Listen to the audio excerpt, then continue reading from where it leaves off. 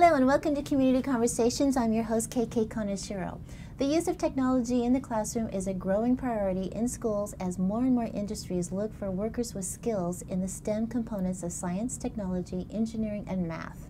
Over the years, Fremont Unified has worked to provide more STEM opportunities for students at all grade levels. One teacher at Irvington High is leading this effort and creating a fully equipped makerspace in her own classroom where students can learn and apply STEM skills using state-of-the-art technology. And here with us tonight is the famous Irvington High School, Kristin Berbawy.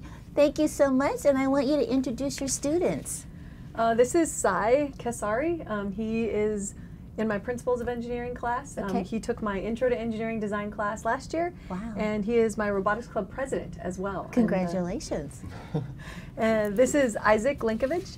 Um, he is a sophomore this year, and he was in my Intro to Computer Science class last year. He's not in my class this year, but he's in advisory with me. All three of these guys are actually in advisory with me. Oh, wow. Okay. Um, yeah, that's we'll talk about it. yeah, we'll talk about it. um, and then this is Alana Valino, and she is also a sophomore. Also was in my Intro to Computer Science class last year, and is in my advisory this year. This is great. Thank you so much for being here.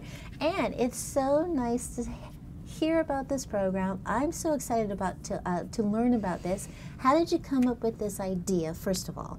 Oh man, that's a long story. Um, I was hired at Irvington um, six years ago to run the robotics club, and I was a math teacher, and I also taught this Intro to Computer Science class. It was called Intro to Technology at the time. Okay. And I wanted to teach robotics as a class instead of only having it as a club after school.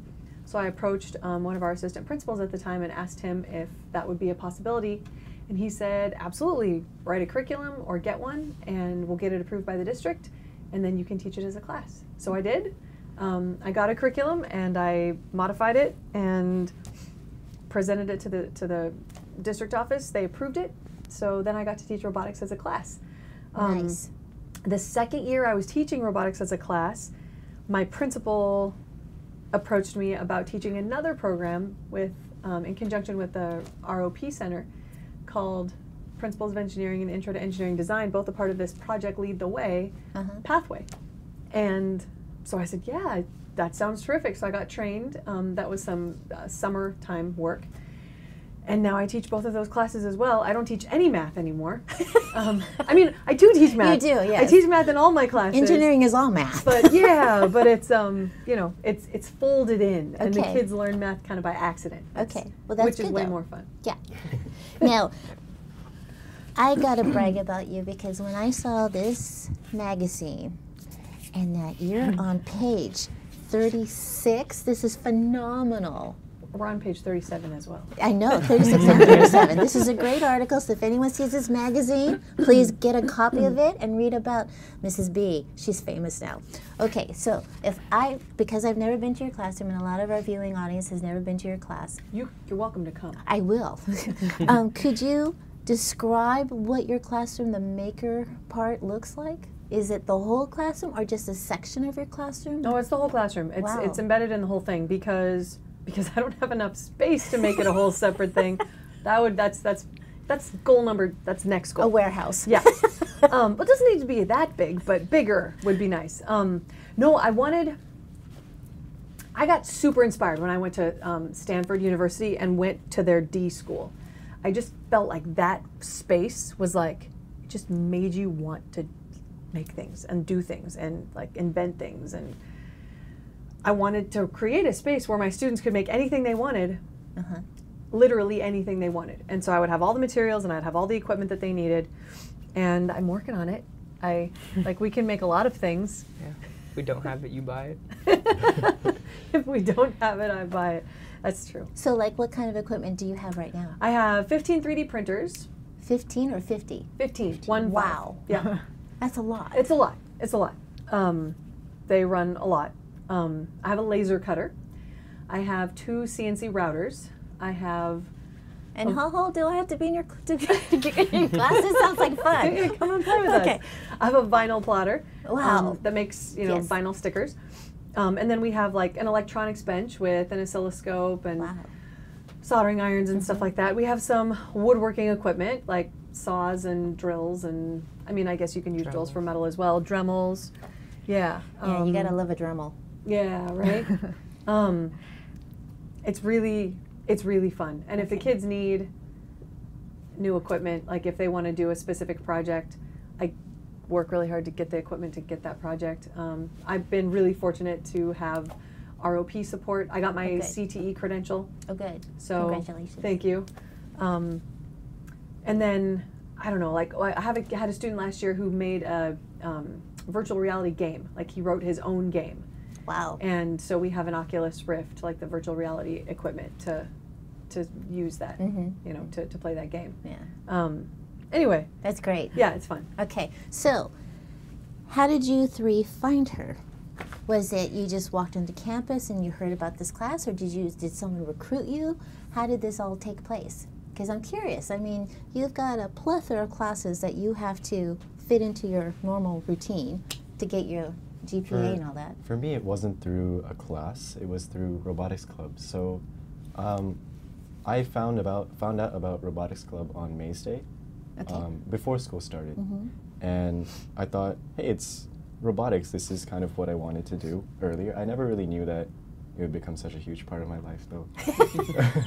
so I learned how to code in C in eighth grade before I Wow. joined high school Wow. and I, I really wanted to explore the other half of making things because there's programming Mhm. and there's mechanical stuff and Mhm. that goes into making things that move Right. electronic things that move so i wanted to explore stuff and learn how to fabricate and engineer things Nice. so i joined robotics Was it what you thought it would be?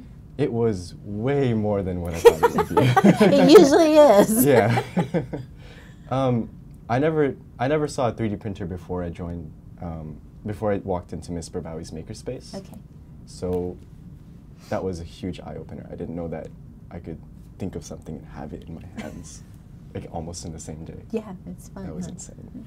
How about you? Yeah, I'm, I'm right along there with Sai. I had never seen like any of the equipment that Miss Berbawy has, and I had come into high school wanting to further my uh, knowledge of like coding or programming or things like that, um, and maybe join the robotics team or things like that. And as I was signing up for classes, I saw that there was a uh, computer uh, science class, Okay. and it was Miss Berbawy's class. And I went into that class wanting to learn more coding and stuff. And I saw the makerspace, and I like fell in love that second. and I knew I wanted to further myself in coding, but then also be able to like make different things. Right. And Things make sure like that that. the coding works with what you fabricated. Yeah, Yeah. yeah. That's the hard part. Yeah, Because what's in here doesn't actually. Yes. So Alana, how did you find her? Well, uh, I we our school has this thing called families, and my family is ITA, which uh, her class was one of the choices, and I picked it. And the first day, actually, I was late because I got lost because it was a whole thing, and I walked into PE, and the teacher was like. They're so cute on the first Yeah. day. the teacher was like, "You're in the wrong class," because it was like a block schedule thing. Uh-huh. And I walked in, and as soon as I walked in, I met Miss Berbawy, and she greeted me with like the warmest smile. And as soon as I came in, I knew this is like where I wanted to be. This is great. I mean, talk about testimonials here. Mm. But I think the bigger testimonial is that you're now advisors. So tell me what that's about. Master builders. Yeah. it's definitely fun like not only teaching like the younger kids or even kids our age how to use the equipment but um, we also like learn different things as we're teaching them we learn like oh you can do this as well or there's an, another way to do it um, that's faster or will make your things look nicer and be able to run more efficient so it's not only just about teaching the other Right. kids but learning yourself so Being advisor is more than just um, getting to use the makerspace. It's about being a part of the makerspace. So we, as I kind of feel said, like you own a part of it, right? Yeah, it's yours. exactly. Yeah. So when there's something wrong, we're the ones to fix it. We're the ones to I like take care that. of it. Yeah. It saves me a lot of time. Yeah. Trying to fix That's 15 great. 3D printers.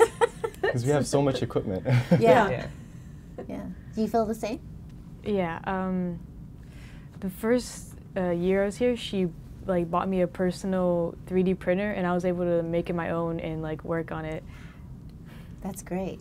Now tell me about the big event, the, the Maker Faire. How did you get the kids involved? How did you get Fremont known in the Maker Faire? This That is started- amazing. Oh, thanks. Um, yeah, it's really, really fun. Um, so it started when I was a part of Robotics Club, running Robotics Club, and we would go with uh, the First Robotics team, and First Robotics has their own section at Maker Fair. But then, I don't know, I saw the things that, you know, my kids were doing, and I was just like, wow, we should go to Maker Faire just with us. Uh-huh. So one year we went with, with that group, and I had a group of our own. Um, and we had just one little table, and I, I brought 3D printer, and I think we brought the laser cutter that year, and one little table, and then that was four years ago.